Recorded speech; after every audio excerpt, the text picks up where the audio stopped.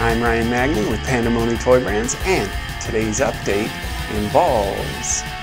Uh, well, first of all, since the last video, you'll see that I don't know if you see these because I can't. I'm shooting on a GoPro, but anyhow, we've got some acoustic foam up, so should be less echo. I still kind of hear echo, so I'm assuming that it didn't uh, get the effect that I want. That's okay. I have more foam to give. Update is that we are going to be debuting our toy line. Not in this video though. We will be debuting it at Astra. That's right, Astra, the Association of Specialty Toy Retailers Association. And this year, their annual convention is in June in New Orleans. And if you want the exact date, just go to the link below.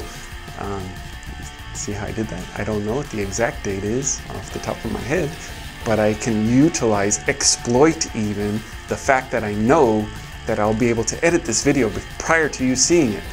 I'm clever. That's a showbiz trick, actually. I can't take credit for it. So if you're not in showbiz, you know how the magic of the movie industry works, even in small videos such as this. So go to Astra if you can. We're at booth 138. That's right, 138.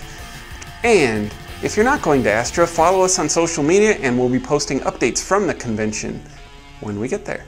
And, you'll see our cool merch, which is really cool. Bye-bye.